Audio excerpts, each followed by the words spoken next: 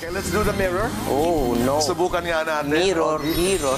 Let's do the mirror. Who would ever imagine that you would turn 50? At 50, what are you afraid of? Tell that man in the mirror. Ah, wala na akong kinatatakutan para sa akin. Pero siguro para sa mga anak ko na lang, ano bang magiging future nila? Ano bang magiging karanasan nila? Yung anak ko bang panganay eh makaka magiging matino ba yung magiging asawa niya? And that goes also for my two children. That's true. Um, it really is for them. Tonight with